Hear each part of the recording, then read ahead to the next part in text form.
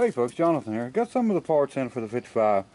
Uh, actually went through RockAuto online. It's about the cheapest. There's two wheel cylinders. There's two front brake hoses. Uh, one of these is the, this is the clutch master cylinder. I've got the brake master cylinder, and I've got the uh, clutch slave cylinder. And the rest of the stuff on the way, all new brake shoes. The other two wheel cylinders and the rear rubber line. So we'll do redo all the brake lines, all the brakes, and uh, we've got to make our bracket for uh, slave cylinder. So what I'll probably do is uh, get this clip back off and finish up what I'm going to do on the firewall, which I'm not sure yet. If I'm going to, thought about checkering it, but you know, I, I don't know that I'm going to do that. I'll, I'll figure it out as I go, but uh, we are going to get it out, go ahead and get our our slave cylinder on for our clutch, get that finished up. Uh, any of the holes in the firewall that need fixed, we'll go ahead and take care of. Uh, and do something on our heater system there where they chopped the holes in there. I'm not quite sure, you know, if they just pulled that core out of another vehicle or what, but we'll figure out what we're going to do on it. And uh, we're just going to start wrapping up all the little stuff here. And uh, that way we can get the brake lights running, or the brake lines and everything ran on it. And uh, shouldn't take too long or be too bad here. I'm going to raise the radiator about an inch and a half, and then uh, we still got to get, you know, the neck moved over and stuff, so we can get that done. And uh, that way, when we put it together this next time, and uh, good to put the front clip back on, everything will be permanent. And uh, don't have the rear yoke yet for the drive shaft, so I, I've got the drive shaft in or laying in.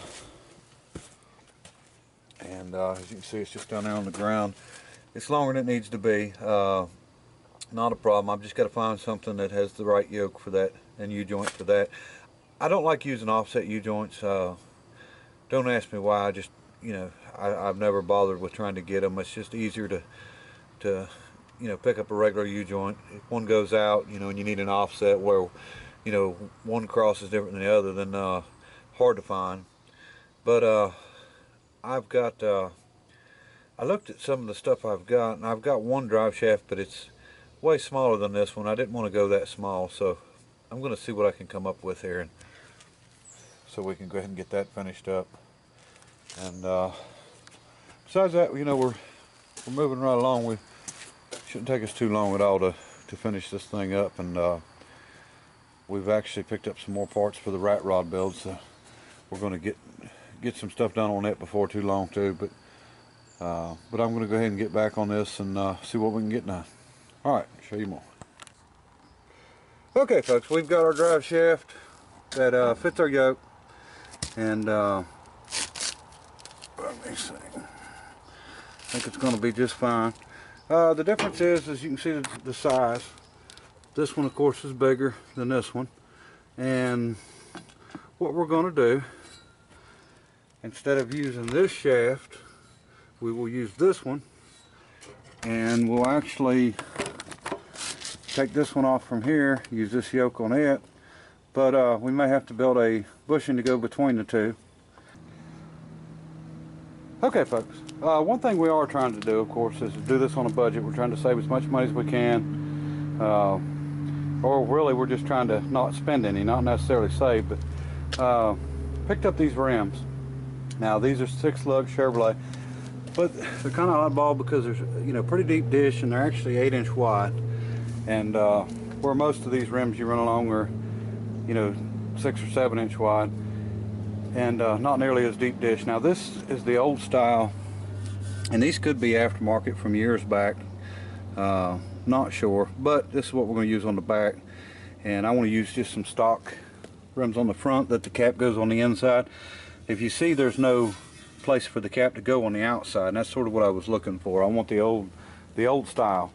And uh, one of the things that you know straight rodders or hot rodders or traditional hot rodders done back then uh, which I guess they wasn't traditional then they was actually original but uh, paint their wheels of course. And you know the brighter you painted the wheels the the better it looked. And, and you know that was a an easy way to get around uh, you know, spending a lot of money on wheels or anything like that. Pop the hubcaps off, paint the wheels, and you know you was done. And uh, so basically that's what we're doing. And uh, not sure how it's going to look, but what we're going to do is go with uh, we're going to go with orange on the wheels, a bright orange.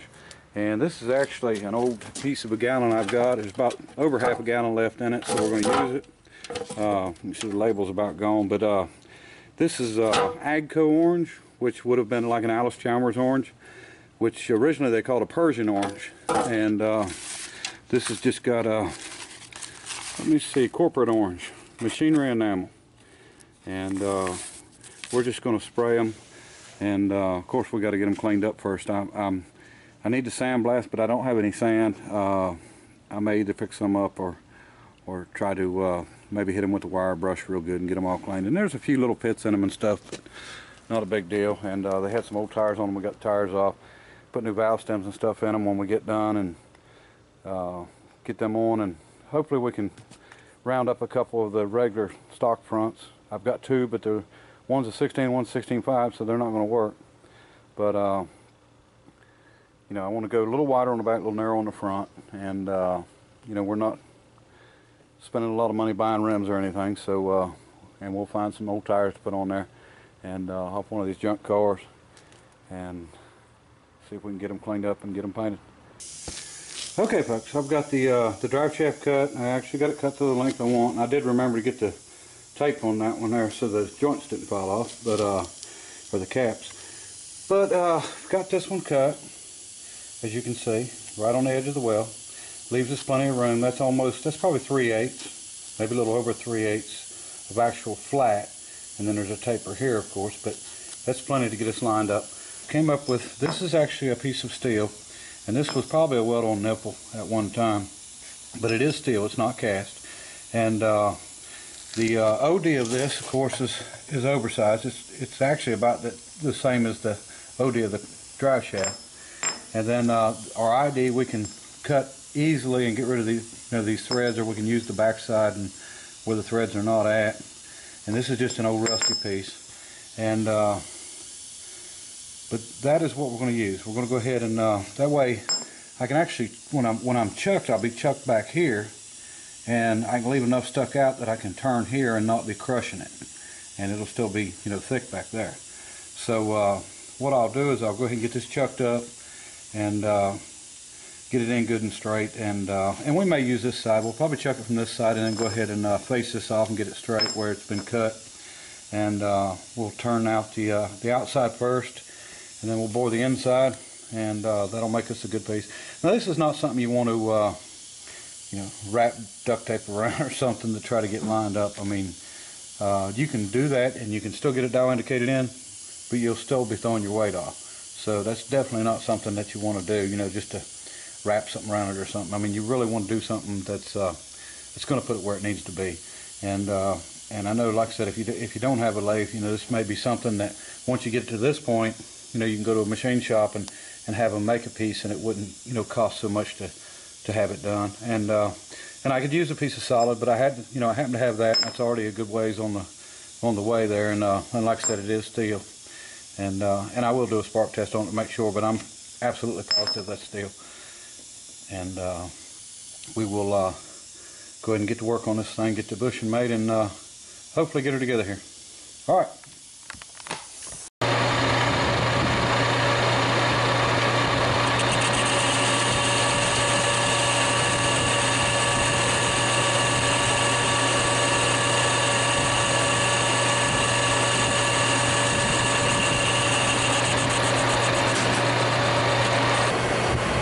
We've got it straight.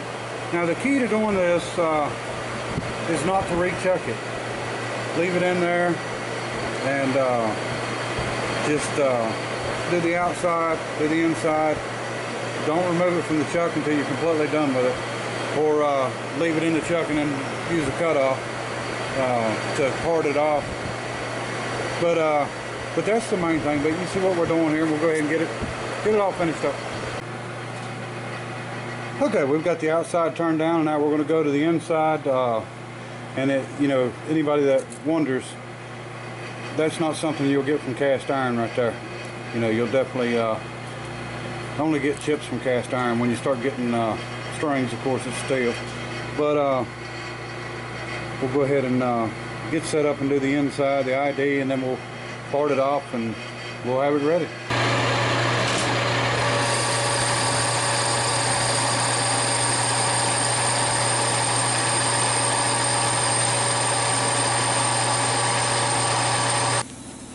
Okay folks, here's our uh, finished ring here and uh, got the drive shaft cleaned up, yoke cleaned up, ready to put together and uh, we can go ahead and knock this all together. You know, it's not real tight, but it's going to be tight enough it'll stay, no problem.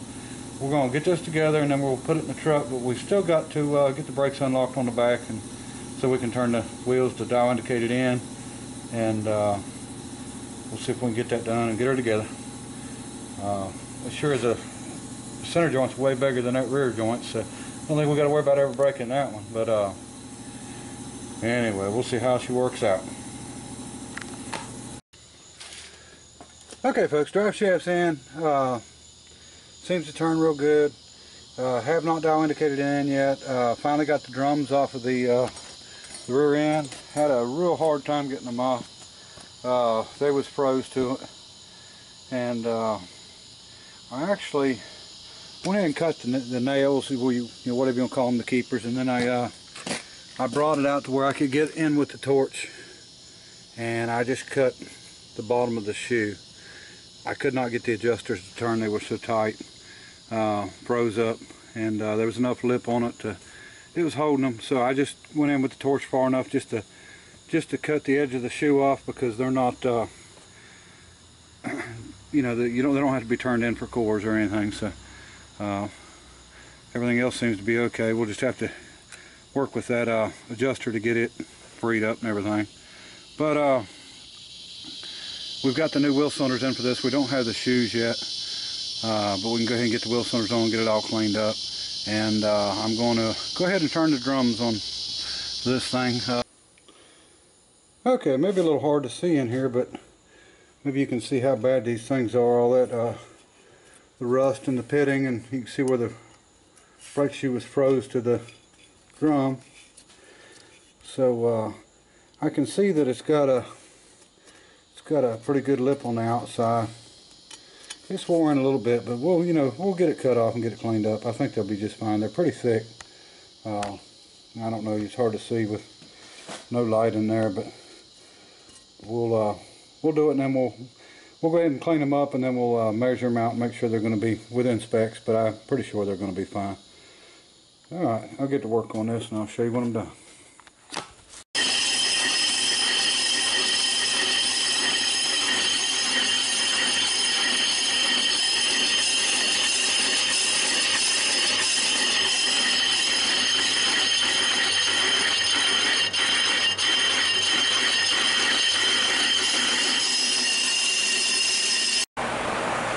Okay, if you can see it, I want to show you where we was at on this. As you can see, it's uh, it's cleaning up real good, but still got a lot of pitting in there. So uh, we're going to go and take it down until we get the pitting out. I think we're going to be fine on thickness because it didn't look, I don't think they've ever been turned before. So uh, we'll just keep at it until it's gone and then we'll check it. Alright. Okay folks, both of the drums are turned and uh, finished up. Uh, you can see a really sort of a dark spot through here. And uh, you really can't feel it but I didn't want to go any farther than I had to so uh, we went on and finished it off at that. Looks good. They're well within specs uh, evidently they hadn't been turned before and if they had I probably wouldn't been been able to get them right. But uh, they're good to go so we're finished with that.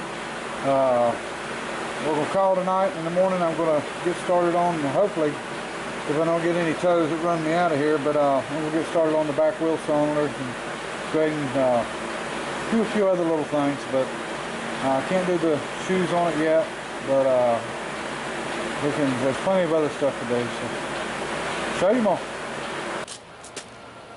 Okay folks, another scorching hot day, it's the next day here, and uh, I figured because uh, I don't have the brake parts, everything I need anyway, I don't have the shoes for the rear, I do have the wheel cylinders, but I don't have the wheel cylinders for the front. But I'm going to get these drums off and get them turned.